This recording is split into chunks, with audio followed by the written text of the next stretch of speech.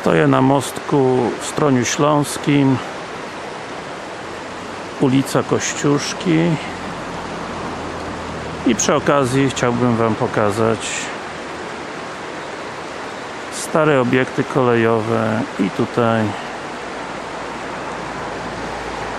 prześliczna wieża ciśnień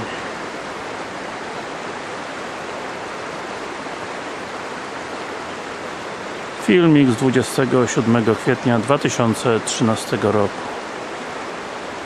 Filmuje Darek Kraśnicki z Wrocławia. Jeszcze raz widok na wieżę ciśnień w Stroniu Śląskim. Jestem na ulicy Dolnej 1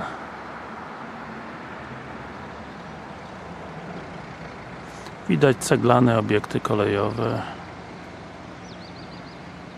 a w tamtym kierunku jest już jakiś placyk handlowy.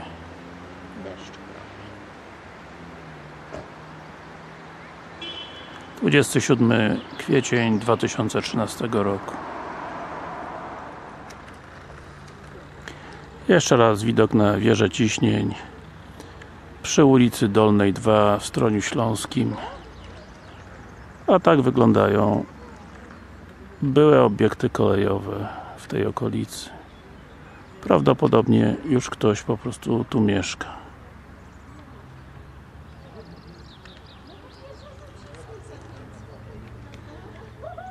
A tutaj torowisko.